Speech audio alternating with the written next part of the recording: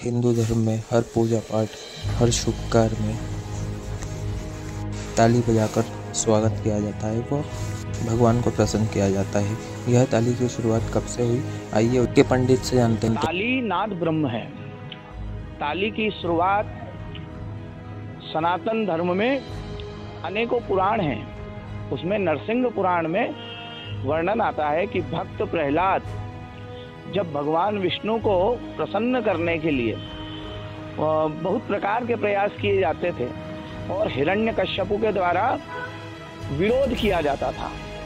और विरोध और प्रयास दोनों जब आपस में टकराते थे तो भगवान को प्रसन्न होना ही पड़ता है।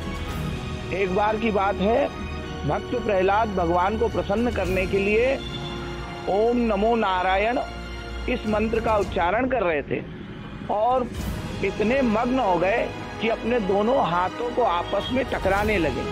वह नाद उत्पन्न होने लगा, जिससे अखिल ब्रह्मांड में ऐसा लगने लगा कि ये क्या हो रहा है। सब विस्मित हो गए कि ये किसकी भक्ति है, जिससे कि भगवान श्री हरि का सिंहासन डोल उठा और भगवान उसके भजन के लिए आनंदित हो गए उसके भजन से और भजन से आनंदित होकर के उसके भजन से प्रसन्न होकर के उसके समस्त कष्टों का निवारण करते थे। कभी पहाड़ों से गिराया जाता तो उसको हथेली में झेल लेते। यह सब ताली नाद और मंत्र नाद इन दोनों की शक्ति का प्रभाव है।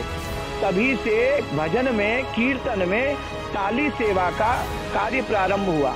इसलिए हम सभी भक्तों को भगवान की आरती में, भगवान के कीर्तन में, भगवान के भजनों में ताली नाद करना चाहिए। इसी ताली नाद के प्रभाव से भगवान श्री हरि का नरसिंह अवतार हुआ और हिरण्य कश्यपु का वध करके भगवान ने प्रहलाद को अपनी गोद में बिठाकर पिता तुल्य लाड़ किया और समस्त संकटों से निवारण करके उसको दिव्य सिंहासन पर विराजित कर दिया। यह तालीनाथ का प्रभाव है। हम सभी को तालीनाथ करना चाहिए। जय